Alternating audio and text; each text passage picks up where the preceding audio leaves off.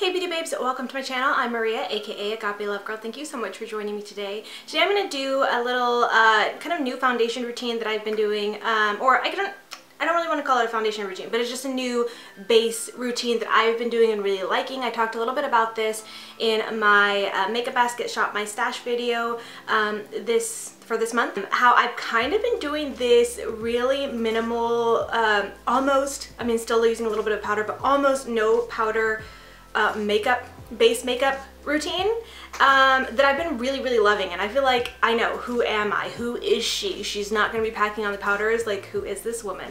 Um, it's very, very different for me. It's something that I never thought I would enjoy because I love powders so much. But the products I've been using lately I've really been enjoying them and don't feel like they need the powder. Um, and so anyways, I just figured I would share the routine with you and how I've been applying products. I've been using a lot of like duo fiber brushes. Duo fiber brushes have been my jam for like the last couple of months, but especially this last month, February, with the way I've switched things up and the way I've been doing things. And also I was testing out some cream products and stuff like that. So that kind of pulled me into this whole like no powder or minimal powder look. So anyways, I just thought that might be interesting to share with you. So I'm going to go ahead and start off with primer. I'm going to be using this uh, 24 karat elixir serum primer from the brand She Knows. And it's like this little gold flake serumy primer. It says it's best for uh, dry to very dry uh, skin and it has anti-aging properties to it. I've been using this. I, um, last month I used it but I decided to keep it in my makeup basket this month so I could really kind of like do a little wear test with it because I never really did that last month. I've been really liking to use dual fiber brushes to um, apply my primer as well so I thought I might demonstrate that for you. But with this one specifically I feel like it works just a little bit better with my my fingers but the last couple of months I was actually using um, a dual fiber brush just like this one to apply my my primers and I feel like that works so so great. Love it so much. I'm gonna go and do my brows next that way it gives the primer some time to fully set and absorb into my skin before I go in with my foundation. So for my brows, I'm going to be using the Precisely My Brow from Benefit Cosmetics. And I may just kind of speed through this, I'm not sure yet. I don't know if I'm very good at doing my brows and talking at the same time.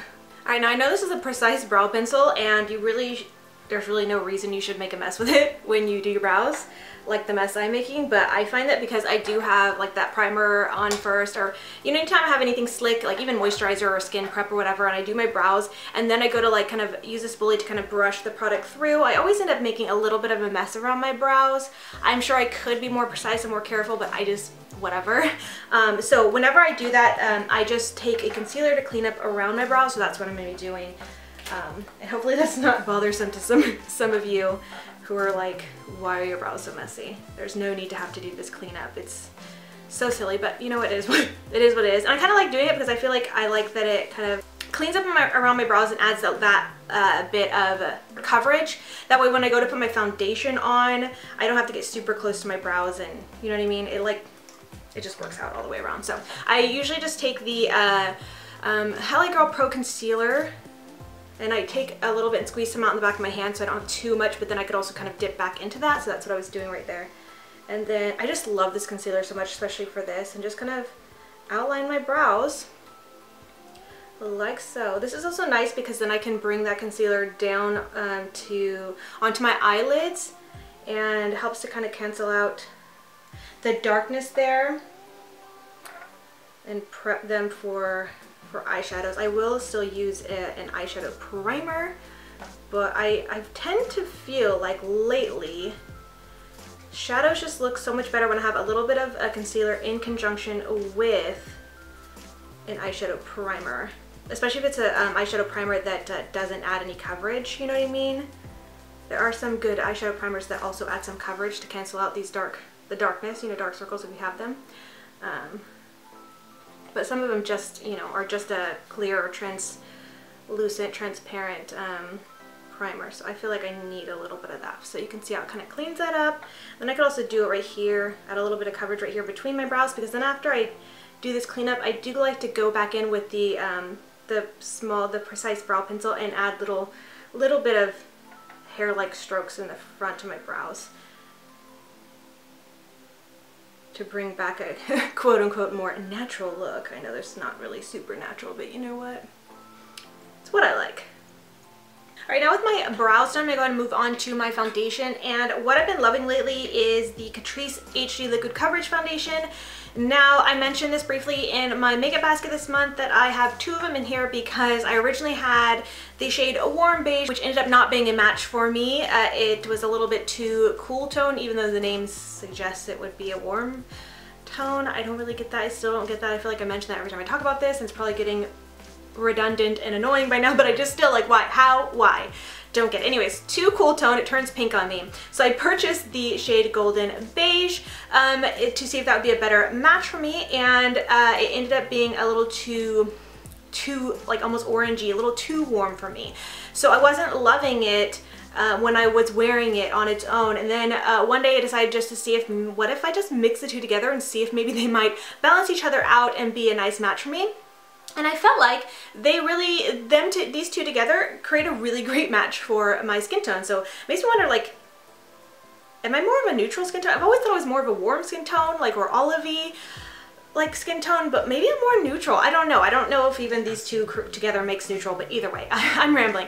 Anyway, so I'm to take uh, one dropper, because they are little droppers, um, one dropper of each uh, of, of these shades, mix them in my palm, and then use a duo fiber brush to apply them. So in case you're curious about the brush I'm using, this is the Beauty Junkees Duo Fiber Large Stippling Brush. Pretty much all the, the um, duo fiber brushes I'm using are from Beauty Junkees. I do have a discount code with them. I think it's Agape Love and I think it saves you like 20% off. I'm to take that so I've got the mixture in the palm of my hands with this duo fiber brush and I'm gonna, I might have picked up a little bit too much.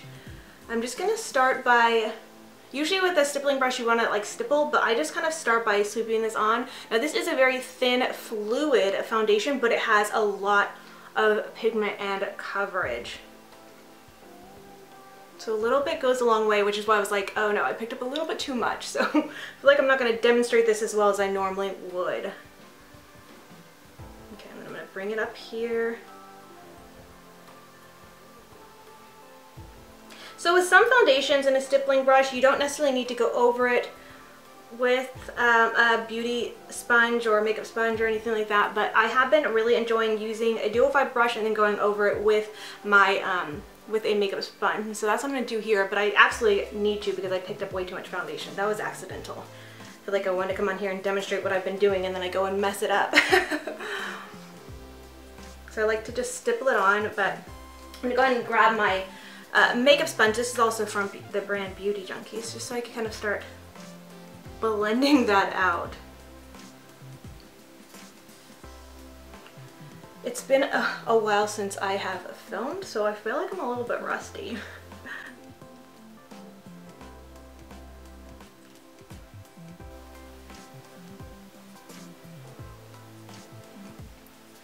So this looks really, really nice. I love the way this looks. Definitely went in a little bit too heavy handed, but what's nice about this foundation is that it is really fluid and it is pigmented, but it doesn't like um, cake up, at least in my opinion. It's so thin and fluid. It's just so nice. It works out very easily. It does dry down fairly quickly, but I still feel like you saw I put on all the foundation and then kind of started dapping it out with this um, sponge and now it's just such beautiful coverage. And I actually still have quite a bit left in my palm here if you can tell. I just picked up a little bit too much in the droppers I guess this time. Uh, I don't know what is my deal today but hopefully the rest of this video and demonstration will be a little bit better. Now another great thing about that foundation specifically and why I feel like this has been working for me and why I've been enjoying this kind of routine lately is that that is a matte foundation. It dries down um, and almost I feel like has a bit of a dry down to almost a powder finish. Um, so it dries down matte where there's no dewiness, there's you don't feel it on your skin, there's no residue, you know what I mean? But it doesn't dry down matte to where it's like drying out your skin or your skin feels like it needs to be hydrated. Now I am someone who does have dry skin, um, so uh, I'm, I'm kind of picky about matte foundations. I don't really love dewy foundations either. I like more so like natural finish foundations. And I feel like for a matte foundation, this is a little bit more of a natural finish, but it is more so matte.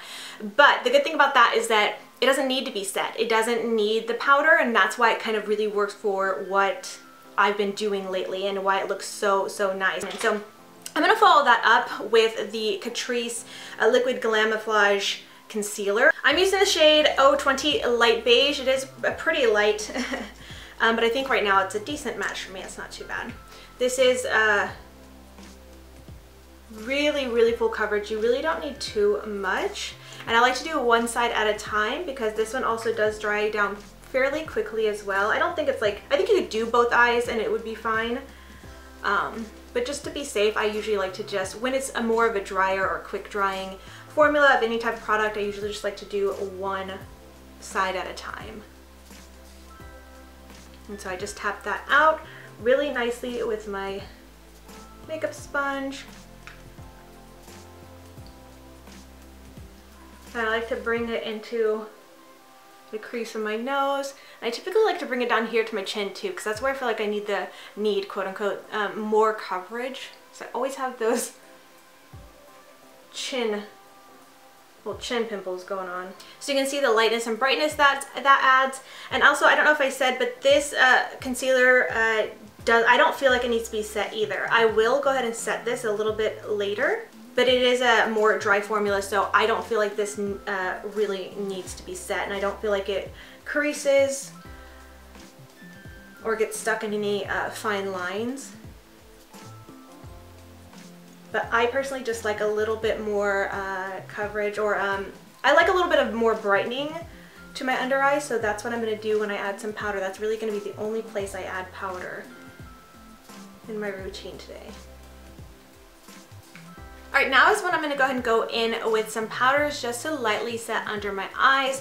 Now I'm to be using two powders and this is absolutely not necessary. If you were to like follow this routine, I would just say use whatever powder you find is your favorite and you might not even need to use powder, but if you feel like there's certain places you just feel like you need to set, um, then just lightly do this. Um, I don't even know if I'm doing this for someone to really follow. I'm just showing you guys what I've been doing, what I've been enjoying lately. So I don't really know if I'm trying to make this some kind of tutorial or something to follow or not. You know, everything works very differently for you know, different people. So anyway, that being said, I'm going to take this kind of little small dome brush because I'm going to be setting my uh, under my eyes and like I said, I'm to be using two powders, which is absolutely unnecessary, but I've just found that I really love this combo lately, and so that's what I'm to do.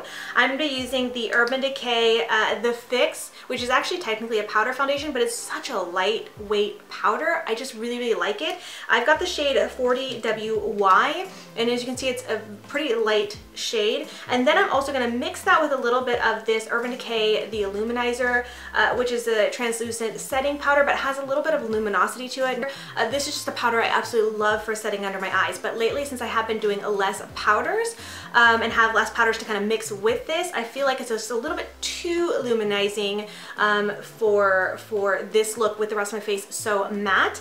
Um, so that's why I like to mix it with a little bit of this because I feel like that helps balance it out. I still get a little bit of luminosity and brightness under my eyes, but it's not overpowering. So I just take a little, little bit of both of them and then just start dabbing that under my eyes.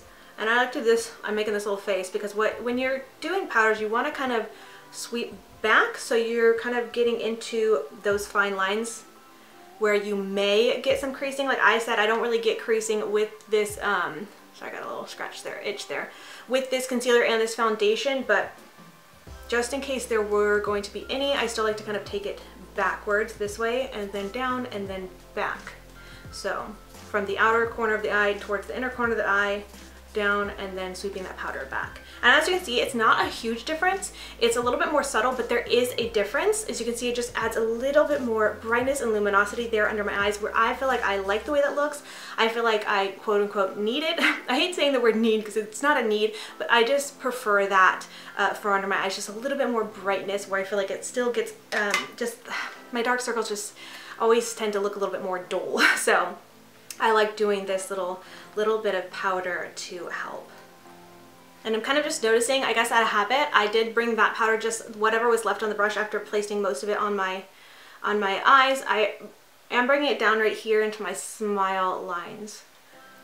But anyways, that's pretty much it. That's the extent of the powders that I've been using for my face. The next thing I'm going to go ahead and do is set my face with a setting spray. Now the reason why I like doing this is something I used to do actually uh, a long time ago, a couple years ago, and I've got out of the habit of doing it. I don't know why, but I, I kind of gone back to doing it. I really like this idea of setting my face after doing the foundation, concealer, and powder, however much powder you do. I used to do a lot more powder, but regardless, still just setting it because it kind of, I feel like it seals those base products, just adds this layer of like a finishing seal layer that preps it and makes it a more of a smooth, um, canvas for the next products you're going to put on top of it. So this is not necessary, but this is something that I just really like in, in my routine.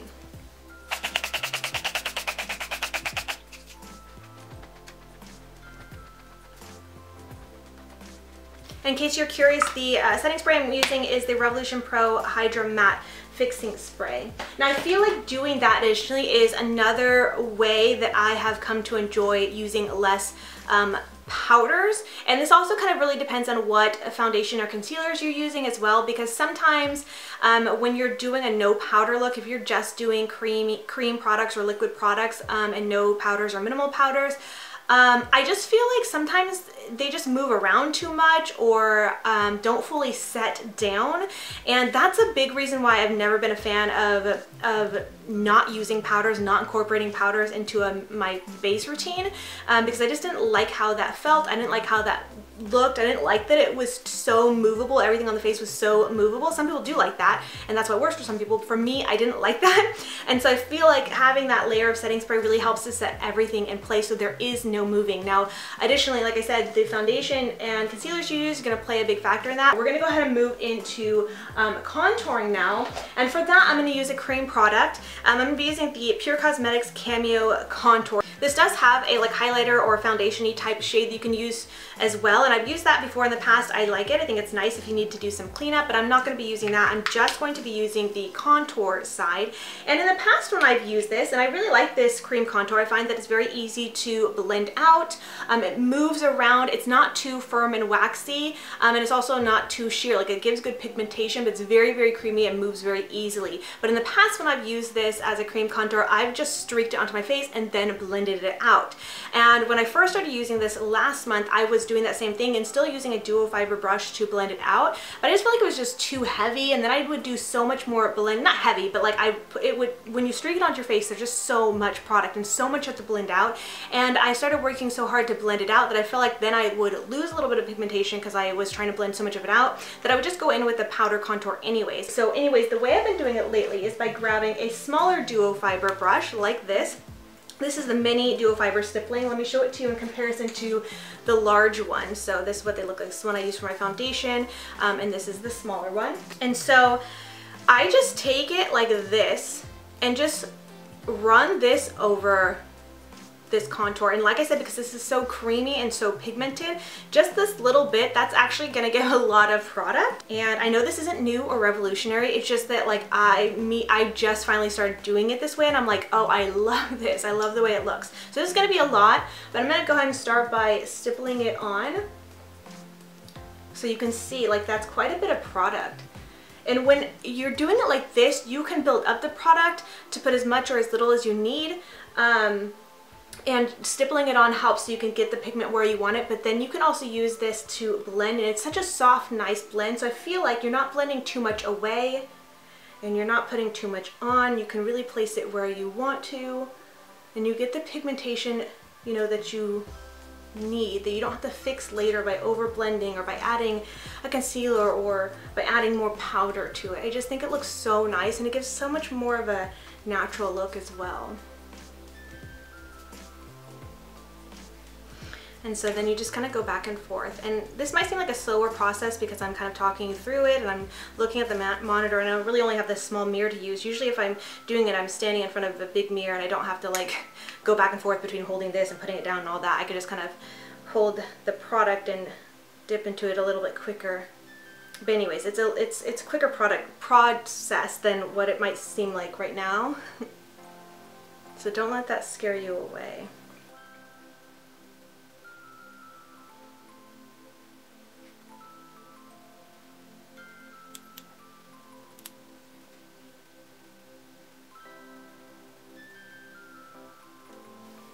What's really great also about dual fiber brushes is that uh, because they're dual fiber, that literally means there's two different types of fibers for the brushes. There's these longer ones, um, the white bristles, and then the shorter ones down here. Um, is that they give you such a feather, a light application, so you get much more of a natural, kind of almost airbrushed or flawless finish. I love using it on top of other products. Like you're saying, I already have the foundation down and yes, I did use the setting spray to help kind of set it so it didn't, it wouldn't be disturbed. But when you're using a dual fiber brush, like it really helps so you're not disturbing the makeup underneath. You can really gently apply makeup in such a feather light way that it's not going to disturb the makeup underneath. And I just really appreciate that so much. I've just been really on this kick with duo fiber brushes lately. I'm just like, these are the best. But I feel like especially if you want a little bit more natural looking makeup, a little bit, like you still want to do all the things, but you don't want to have like cake face. Like dual fiber brushes are truly like the way to go. Okay, I think I built that up really nicely, but I was just gonna say, I, I don't feel like I need to fix anything, but I, I would just want to mention that what's great also about dual fiber brushes, and I feel like this is like an ad for dual fiber brushes, but literally I've just been so in love with them lately. Um, anyways, uh, what's great that if you feel like you did go in a little bit too much and you want to fix it, you could always go back in with the duo fiber brush that had your foundation on it and just kind of run, the, I pretty much wiped all this off, but um, you can just like run back over it very gently um, without adding any more um, foundation if you didn't wipe it. Um, whatever's just left on the brush and kind of lightly like tap over and it can help fix any mistakes and things like that. And I just, I don't know, been on such a kick with duo fiber brushes.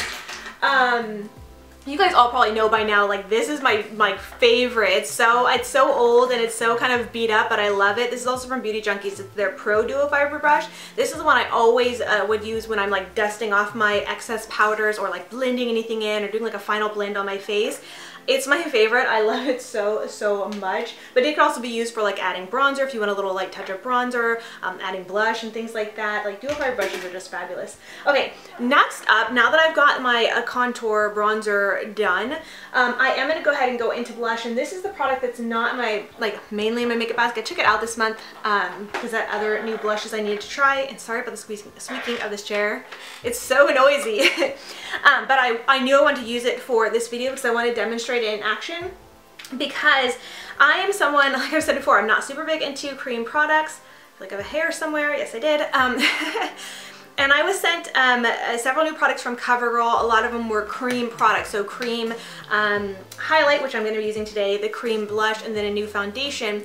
And I was like really skeptical. I was thinking I wasn't going to like these because I'm not big into cream products. I just don't feel like I they I don't know how to work them very well and I don't prefer them. They're more of a pain in the butt so I just don't want to deal with them. But I want to give these a fair shot, and I tried several different ways of applying this blush um, with my finger, using a uh, makeup sponge, and then using um, regular brushes, and then I decided to use it, of course, with a dual fiber brush. So I have another one of these smaller ones. This one's the one I have de dedicated for the blush. This is my um, bronzer one, so you can see a little bit of pinky one, a brown one here. Um, and uh, I've also tried like applying just a dot to the face first and trying to blend it out um, with various methods and th things like that and I just feel like none of those ways worked super great. So I feel like this is the best way and again this is probably not super new or revolutionary to anybody. This is probably like the smartest way you could do anything. um, but anyways I just figured I'd share this is how I got it to really work um, and then look the best and how I would recommend using cream products. So this is the uh, Clean Fresh Cream Blush from CoverGirl. Uh, it's the shade 370 Butterflies. And this, these are pretty pigmented. They last really well. They're really beautiful. This has a little bit of a shimmer to it, but I don't feel like once it's applied on the cheek, it's like super shimmery. But anyways, I will squeeze a little bit on the, the you know, backside of my hand like this. Um, a good uh, dollop of it. Then take my duo fiber brush and dip it in there. And it's going to seem like a lot of product, but what I like to do is just dip it all around and almost to where like a lot of the product is blended already onto and off my hand. So that way it's not too much and I'm not going to go in too heavy-handed onto my cheek. So there's still got a bit of product on here and I just kind of slight, start to lightly stipple that blush on. And I feel if I feel like I need to add a little bit more from here, I will. Um, or just squeeze out a little bit more. I'm not really worried about wasting the product. It might seem wasteful a little bit, but that's as For a cream blush, that's a, that's a big tube. That's gonna last a long time. So you just, this is, I feel like is the best way because you could just slowly start building it up. And it seems like very, very light, but believe me, I've done it where I've put on way too much. I'm like, uh, that's a mistake. You want to kind of build it up very, very lightly so you don't end up looking too clown-like. And some people want to have more of a, a lot of blush. Sometimes I go pretty ham with blush, but I feel like with a cream blush, you want to be a, a lot more cautious and careful. And so you can see there's not a lot of shimmer. There is a, a, a light wash of color.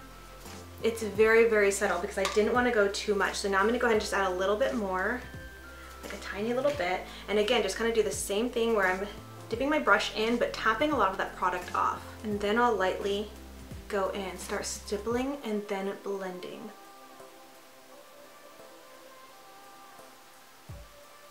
And see, look at that color. It's beautiful. It's soft, it's subtle, it looks very natural, light, and lovely.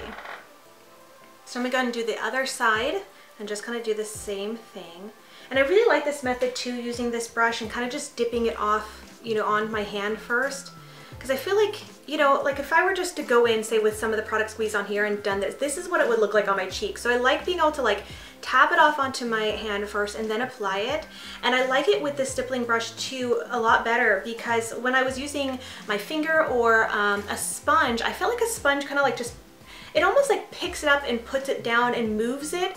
It almost looks like it's disturbing the makeup that's underneath you know, of the blush, the foundation and stuff like that. I just felt like I wasn't loving the way that was looking as much as like this dual fiber application. I just feel like you have more control when you do it this way and it's not picking things up and laying them down like, you know what I mean? It's just, this is truly blending it into the skin. And I don't know, it just looks so nice and such, so much more natural.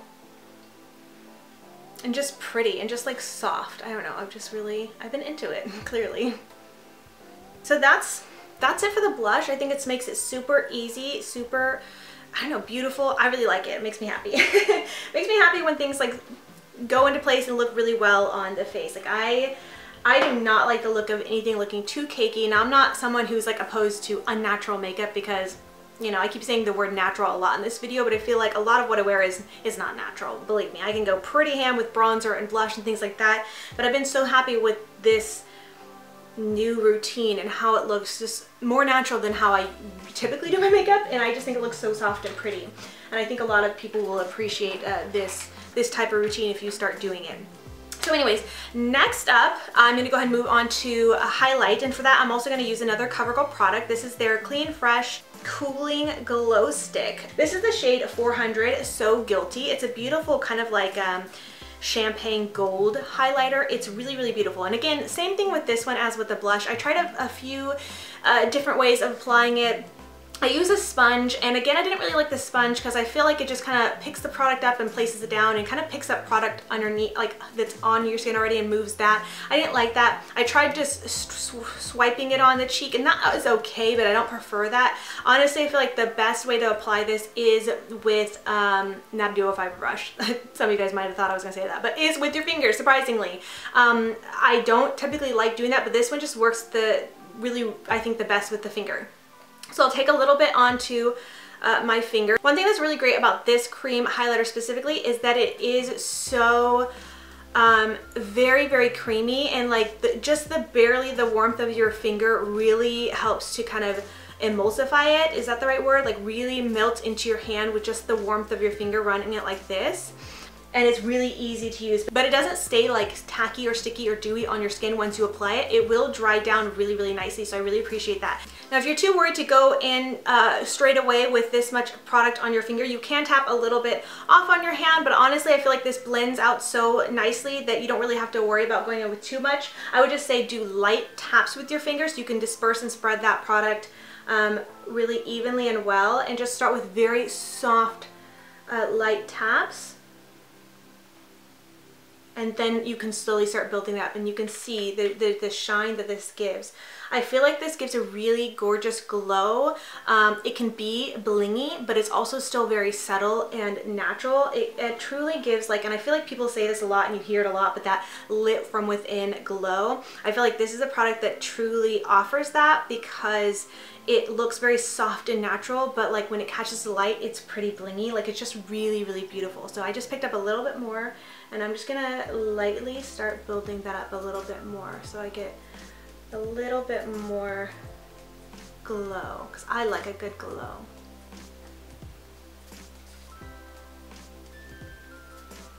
Now it does say it's a cooling um, product. I don't know if I noticed that. I don't know.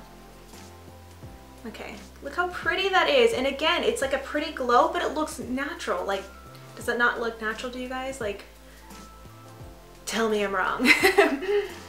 okay, so a little bit, I'm gonna take that. All right, so now I'm gonna go and go in on the other side. And yeah, as you can see, I did take a little bit more time with this just because I'm trying to like slowly build it up and not just go in with a bunch. So this is one thing that may take a little bit more time than the others, but I think it's important because you don't want to go in too crazy with it. Or maybe you do. I mean, it's really up to your preference. I just like to slowly build it up to see, you know, what um, what I want, how I want it to look, you know what I mean? Instead of just going crazy right away. All right, and that's that's pretty much it. I usually do one final spray with a setting spray, just as a final seal, again with the uh, Revolution Pro setting spray, and that's gonna be it for my face.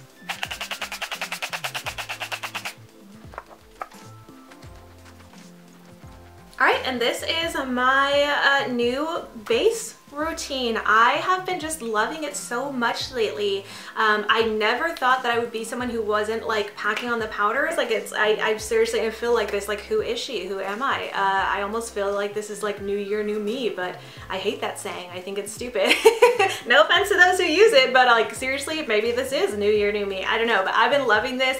I love how natural it looks. I love that I still have the coverage that I want, um, that I still have the look of a nice, uh, defined, like kind of naturally chiseled face like with the contour because I'm not going to give up contour. I have a light flush of blush, a beautiful glow, um, but my face doesn't feel sticky, tacky, um, or like it's going to move around or anything like that. Like I just am so happy with this new routine and I was just really excited to share with you guys. So I really hope you guys enjoyed it and possibly found it helpful. Um, and uh, like I said, you can probably, you know, achieve this routine with other products you might like or find more enjoyable. But these ones that I use today, I really have been enjoying and I really, really like and really recommend. And I feel like that kind of says a lot, um, especially from someone like me who's very picky and typically loves you know, a lot of powders and doesn't really care for cream face products. So for me to really like these, I feel like that says a lot. So these are products that I would recommend. Do you feel like you need to run out and buy them? No. Use what you have and what you, you know, like.